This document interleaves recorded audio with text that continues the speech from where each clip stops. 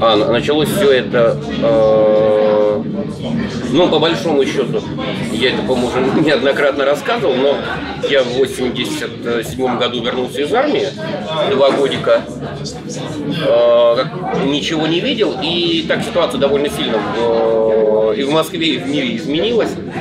И, честно говоря, столько всего появилось, и, то, и появилось то, что мне не понравилось ну, активно. И э, я подумал, что, ну, в общем-то, такую ерунду я и сам могу делать. Э, с другой стороны, из-за того, что я ни на чем не играю, ни, ни тех инструментов э, ничем не владею, то выбор-то был совершенно очевидный. Это значит, надо, надо петь. Потому что как бы считалось, что петь э, уметь не надо. Ну, соответственно, вот и выбор панк-рок как бы был, вот он уже достаточно очевидный. К тому времени э, панк слушал ну, практически вот, ну, ну, очень мало слушал что-то, кроме панка и не вейв.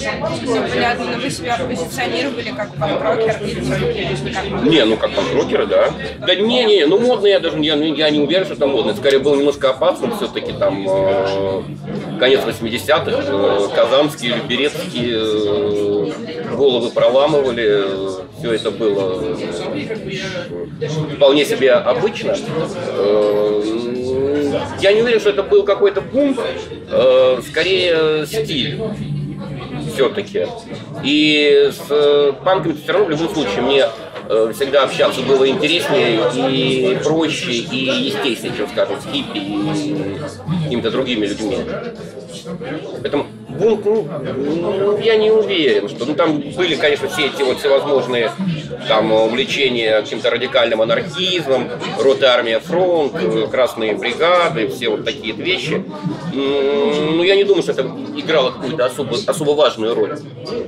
Да, НВП было еще 10 лет э, до того, как я состоял. Все-таки все 90-е-то прошлись э, э, в общем-то, без НБП. То есть я с э, людьми, со всей этой вот радикальной э, московской тусовкой, то есть я вот уже общался там с, начала 90-х, все это да, но э, до очень-очень долгого времени, там до конца 90-х, э, э, НБП не э, играла какой-то роли то есть, в моей жизни в большей степени мы как раз общались с, э, с возможными новыми правами, там, с, э, там протоскинами, с, э, с, ну, я уже не помню, там, там был национальный народ, ну, там, нет, там Лазаренко, РНГ и так далее, с подобными вещами. И очень многим анархистам как раз вот они это все восприняли э, очень э, в штыки, скажем, такой, э,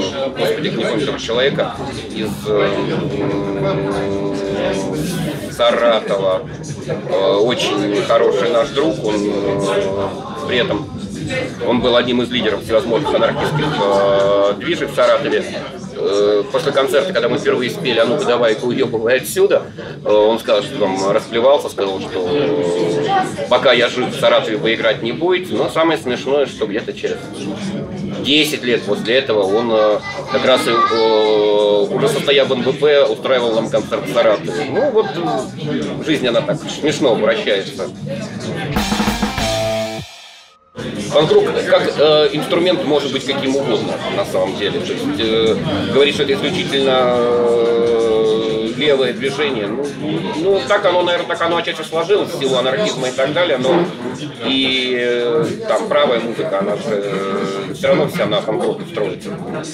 Там, если мы будем начинать там, с тех же самых Skrewdriver, там, с первых пластинки, там, откроет там, то э, это же чистой воды панк-рок, панк н Поэтому не, не, не. Инстру... ну, я, я бы сказал, что это, что это скорее э, некая политичная вещь, которая просто может принимать любые формы, и он совершенно спокойно может быть и левым, и правым, но э, он не, скажем так, не обязан быть чем-то исключительно одним.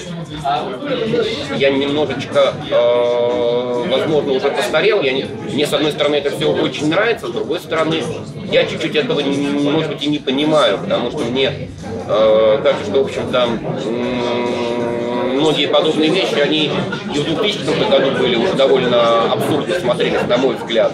А в 2015 ну, я немножечко этого не понимаю. То есть, ну, э, я не понимаю, зачем быть там банком в 2015 году, так, пока себя так позиционировать выглядеть там, как э, там, по-лондонски 77 года. То есть, зачем э, там в 2015 году выглядеть там, как с 69 -го. есть, ну, это просто мне не совсем это ясно и понятно, но ну, это симпатично на самом деле. Ну, нравится, нравится, но не понимаю.